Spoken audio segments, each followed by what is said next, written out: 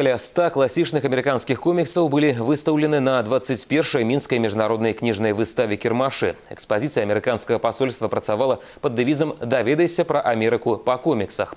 На выставу прыехаў вядомы аўтар коміксаў і графічных навел Джош Элдер. Дарэчы, спецыяльны майстар-клас ён правёў і ў баранавічах. Джош Элдер регулярно праводзіць семінары майстар-класы па стварэнні коміксаў у школах, бібліятэках і універсітэтах ЗША.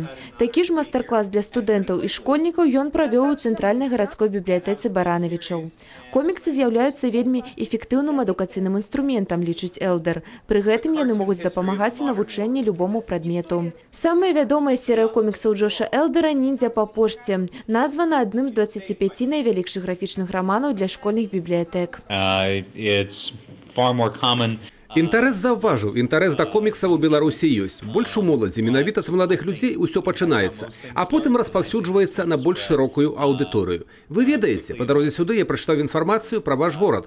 Пра яго багатую гісторыю. Па гэтаму можа быць калі-небудзь гісторыя аб вашым горадзе з'явіцца і ў коміксу. І забегаючы наперад хочу сказаць што дзядуля маёй дзяўчыны родам з беларусі і я ўпэўнены што яна захоча каб у якім-небудзь выглядзе яна прагучала і ў маіх работах.